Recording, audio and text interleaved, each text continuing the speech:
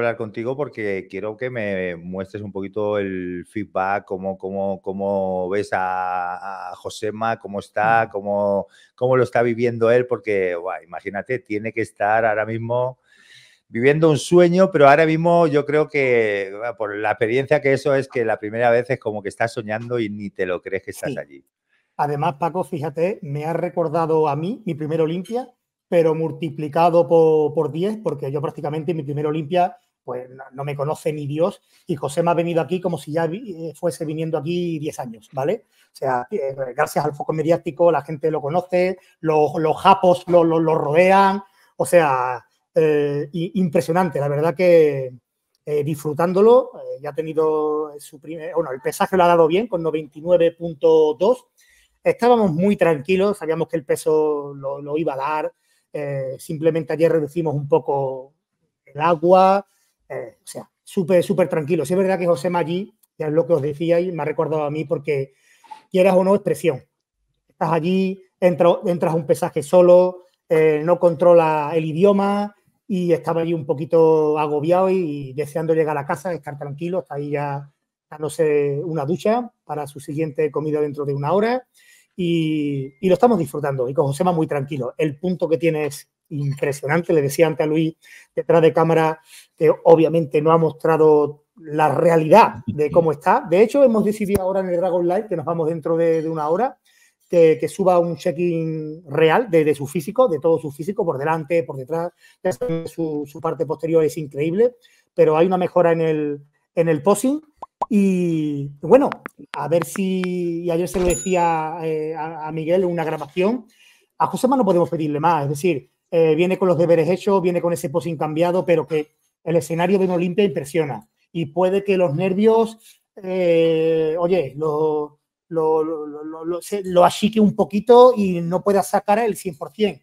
Oye, que no pasa nada, ¿vale? Que no pasa nada. Ya, pero Raúl, no, mire, fíjate, no lo creo, no lo creo, Raúl. Y, y, fíjate, bueno, tú lo conoces muchísimo más que yo, pero mm. un chaval tan joven con la presentación, bueno, eh, la subida meteórica que ha tenido, eh, salir, debutar en profesionales, ¿cómo, se, cómo lo he visto yo como, como eh, el atleta es que, es cuando se sube encima del escenario?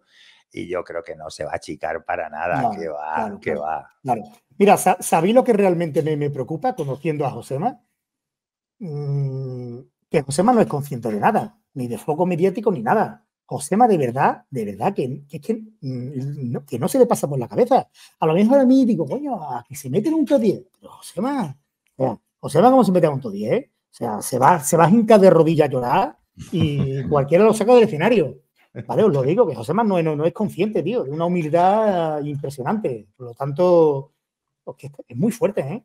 Yo te lo había dicho eh. antes, eh, detrás de las cámaras, macho, que felicitaros a los dos porque habéis hecho un trabajo excelente. Yo le he visto el punto y me ha encantado. O sea, me ha encantado. La, esa pose de tres cuartos también flipante, muy buena. Y bueno, también estoy deseando verlo, tío. Sobre todo, ostras, que ha tenido dificultades, ¿eh? porque el pobre ha tenido dificultades y, coño, y a pesar de esas dificultades lo tenemos ahí. O sea que, una pasada, tío. Por mi parte, enhorabuena a los dos. Claro. Es que, mira, respecto a las dificultades, ¿no? Eh, recuerdo una de las veces, eh, esto en, exclusiva, eh, decía, joder, pero, pero ahora, ahora no, puedo bajar el ritmo, tengo que seguir entrando pesado a tope. Claro, es que para él es nuevo, es nuevo, ¿no? No, no, no. Entonces, bueno, gracias también a, a Yago, a su entrenador, que es fabuloso, un tío, un tío increíble.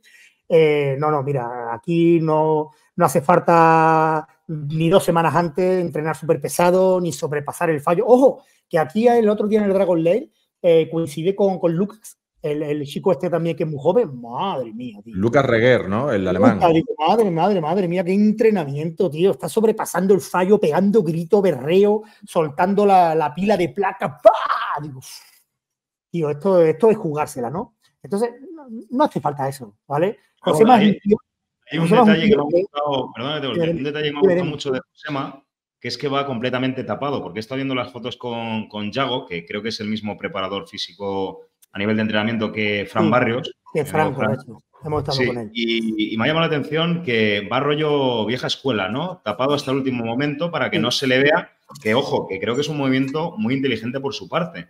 Porque tú sabes que últimamente gusta mucho por el tema de las redes sociales exhibirnos y mostrar pues todo ese trabajo de todo el año. Y en ese sentido, Josema creo que lo está haciendo muy bien. Eh, parece una tontería, pero ¿es algún tipo de estrategia? ¿Lo estáis dejando como para el final? A ver, a ver qué, nos vamos a encontrar en la tarima o, ha dado la casualidad. No, eh, Fran, lo estamos adecuando a su personalidad, ¿vale? A sentirse tranquilo, seguro, sin presión. De hecho, hemos ido, al, hemos ido al Dragon Lair porque teníamos el compromiso de Flex, le mandamos un WhatsApp que íbamos a ir, que por cierto nos recibió de puta madre. Pero Josema, ya te digo que preferiría quedarse entrenando en el hotel solo. ¿Vale? O sea, entonces muchas veces intenta evadirse de, la presión, del foco mediático, de, que la gente se le eche encima. Él es sencillo, es normal. De hecho, está tranquilo, está feliz, eh, está contento por el, por el trabajo. Todos coincidimos que no podría haber salido mejor. O sea, si queremos hacerlo mejor, no nos sale. En general, ¿eh? hablo del equipo completo. ¿eh? Imposible. ¿Vale? Él está de acuerdo y, y ya está, para adelante, a ver este Olimpia, a ver cómo se le ve arriba y a partir de ahí tomar determinaciones. sí, porque es muy difícil. Es muy te puede intimidar. Te puede intimidar. puede intimidar. Yo me he intimidado. yo, yo, estaba un, un, tercer Olimpia a punto de subir en esas escaleras y es duro, ¿vale? Entonces, él lo va a hacer lo mejor que, que pueda y, y, ya está. Es que no, no hay más ni tampoco se le puede pedir más. Te diría que estarás recordando tus Mister Olimpias, ahora con Josema, por esos nervios, sobre todo, porque aunque hayas venido con Mauro, otros Mister Olimpias, pero este, que ves esa primera vez de Josema como que es más ilusionante, ¿no? Como que eh, estás un poquito más pendiente, como cuidarlo un poco más, tenerlo ahí, pues eso, más protegido, ¿no? Por decirlo de alguna manera. Sí, hay que tenerlo más mimado, obviamente. Es su primer Olimpia compitiendo. De, hecho, el año pasado, eh, cuando vinimos con, con Mauro, que él vino a disfrutar del viaje a la Olimpia, lo decíamos, decíamos, joder, José, ¿te imaginas tú aquí? ¿Te imaginas tú aquí? Lo que no, espera, no lo esperábamos tan pronto. Fíjate. Raúl, Raúl te, voy a, te voy a lanzar una pregunta que igual te hace reflexionar un poco y es, ¿estás más ilusionado ahora mismo que cuando tú pisaste la tarima de la Olimpia? Hombre, totalmente. Frank, pero con creces. Sí, qué curioso. Maravilla, ¿eh? la, ilusión que la ilusión que tengo, las sensaciones, las emociones que tengo. se, te eh, se, te nota. O sea, es que se te nota. se te nota que estás no, no nervioso, pero ilusionado. Es que se te nota el gesto en la cara, tío. Tengo mucha ilusión porque al final mi objetivo es ese. Mi objetivo eh, es guiarlo a él, ¿vale? Que, la vida le vaya cambiando en positivo en, en todos los sentidos. Soy muy pesado y a veces le repito que, esto es muy bonito, pero que al final los trofeos y las medallas se llenan de polvo. Muy bien. Mm, que yo las tengo llenas, de polvo, ¿vale? Y que lo tiene que disfrutar, pensar en el futuro y, él está muy enfocado, muy enfocado. Entonces yo me quedo tranquilo de que él sabe cuál es el camino. Hmm. Sabe cuál es el camino, ¿vale? Entonces, disfrutando. Aparte que él siempre, José ha tenido una mentalidad muy, muy pétrea en eso, o sea, y, y férrea, de decir, tengo mi objetivo, voy a alcanzarlo, se focaliza mucho en eso y va al máximo. O sea que en eso es uno de los atletas ideales, porque no, no, se va por la tangente. Un tío que va, pumba, a saco, como un tren. Tienes los raíles y hasta el fondo, macho. Y aquí lo tenemos. en el Olimpia. Aparte enfocado, ¿eh? Ya os digo que fuimos al Dragon Lair por compromiso y demás, pero que si por, él fuese, ya te digo, con una máquina aquí en, el apartamento donde tenemos, eh, entrenaría. Él enfocado al 100%, totalmente vieja escuela, em, nivel mediático YouTube eh, lo justo, sin desconcentrarlo, nivel trabajo lo justo, o sea, él viene súper enfocado y, concentrado. Qué bueno, tío. Al final lo que es la influencia del preparador, oye, pues tiene peso, ¿no? Porque Raúl es un tío que transmite mucha paz, mucha calma y el hecho de que estés con él pegado 24 horas, pues al final te toma casi como esa imagen paterna, ¿no? Ese cobijo, ese respaldo que te tiene ahí. Y oye, ese trabajo es de admirar y conviene, conviene también remarcarlo y decirlo. que el papel del preparador en estos casos, cuidado, ¿eh? tiene muchísimo peso. Muchísimo peso. Es que además que es que eh, sois dos pegatinas, macho, este año, porque sí, por eso te digo. juntos todo el rato. juntos siempre, siempre, siempre. Buen día, tío.